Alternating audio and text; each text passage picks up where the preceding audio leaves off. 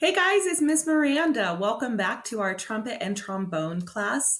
This week's Google Classroom lesson is going to focus on learning, or if any of you played before, reminding yourself of all the different parts of your instruments. So we're going to go over all the parts of the trumpet, all the parts of the trombone, and then we're going to watch here together a video on how to put together or assemble your trumpet or your trombone. So that way, this will help prepare us for next week when we start checking out and using those instruments, okay? So if you already have an instrument at home, you could just be reviewing these with us and um, you know, when we do the classes at school in person, of course, I am there to help you out with putting things together or hand positions and things like that. Since we're all doing this from home and on video, it's still possible to do it, but it's really important that you put in this little bit of extra time, really learning all those parts, familiarizing yourselves, and hopefully some of you might have an adult at home who can help you out if you get a little tripped up with something. And of course, I will always help you in our live class sessions as well. All right, first you'll see I've got a diagram of the trumpet here. It shows you all the different pieces, points with a little arrow to each part and then tells you what its name is. So mouthpiece, valves, remember we said valve one, valve two, valve three. We talked about that with our fingers, the bell, etc. Those are all the parts right there. If you are going to be a trumpet player this year, I want you to do one of two things. If you have a printer at home, you are welcome to print out this diagram. It's going to be available in your Google Classroom assignment. Or if you don't have um, a printer at home, even better is for you to just get a piece of paper and make your own drawing of the trumpet. And then you're going to label all the parts. You're making a little trumpet diagram. You do not have to be an excellent artist to do this. It's not an art lesson, but a music lesson. So you can just draw your best sketch of the basic shape and parts of the trumpet and then label each one of them. Or if you are an artist or you really like art, you can go into even more detail and you can color it to make it look gold or some trumpets are silver. You can choose. Okay. So that's the trumpet parts. There's also an image available for all the trombone parts. So if you are a trombone player this year, you're going to do the same thing. You could either print this out if you do have a printer or don't stress if you don't. Just grab a piece of paper and go ahead and draw your own trombone to the best of your ability and label all the parts. Again, drawing it and writing the names locks it into your brain and that's what we want. We want everyone to start learning all the names of all the parts. So even people who played before sometimes don't remember all the names of all the different parts of their instruments so this should be a learning experience for everyone we're going to take a little bit of time together right now to watch a couple videos. The first video is about how to assemble the trumpet, and the second one is about how to assemble the trombone. Everyone can watch them all together. Even if you're a trumpet player, you can watch the trombone part and vice versa, because it will help you learn about uh, two different brass instruments that have some similarities and some differences. Let's watch the how to assemble the trumpet video first. Hi, my name is Eric Patterson. I'm a teacher with Children's Music Workshop, and today I'm going to show you how to hold your trumpet, how to make a sound, and how to play a note. Start by putting your trumpet case on the floor. That way it's not going to fall and break.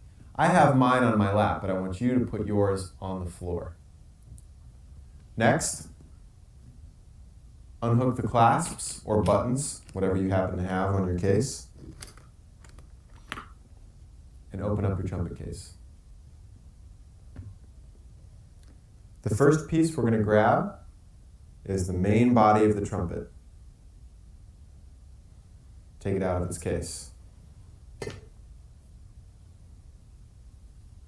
Next, get the mouthpiece.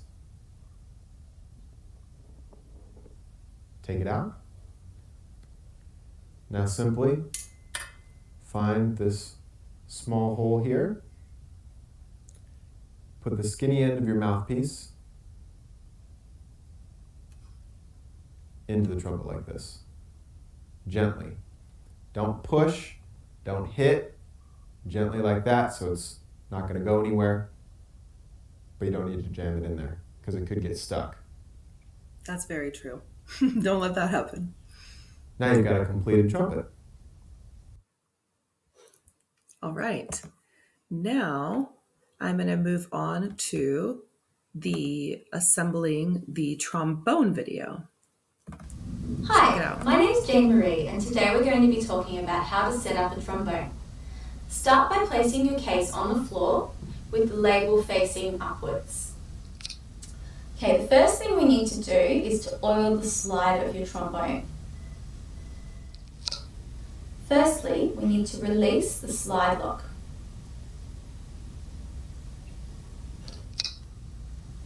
Now carefully slide your slide out and let the base of it rest on the floor.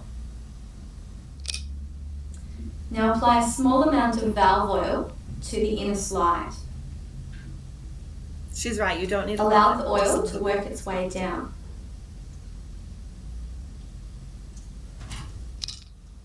Now work the oil up and down the slide by moving the slide in and out. It should move freely and without force. Once you're done, put the slide lock back in place. Now keep the slide pointed downwards in your right hand with the taller part of the slide towards you. Now take the bell in your left hand so that the bell is facing away from you. Next, Gently connect the taller end of the slide with the receiver on the bell. This is where you will find a screw. The two pieces should make a V shape. Then we gently tighten the screw at the joint so that the pieces will not come apart when you're playing. Finally, we're going to place the mouthpiece on the instrument. You do so by gently inserting the mouthpiece into the hole on the other end of the slide. Don't force it in or bang it as this will cause the mouthpiece to become stuck in the instrument. Same as he said with the trumpet. So yeah, gentle is the key with how you put everything in and put everything together. So again, uh, now we've learned a little bit about the assembly of each of the instruments. You're going to go back into Google Classroom. You're going to find those images of all the parts of the trumpet or the trombone, depending on what your instrument is. If you have a printer, you can print it out and then relabel it. Or even better, you can just take your own paper, draw a picture of your instrument, the trumpet or the trombone, and use little arrows to label all the different parts. You're going to use that picture on Google Classroom as your guide. You're just copying it. So you don't have to know all those parts off the top of your head yet, right? You're just copying it and that helps to lock it into your brain.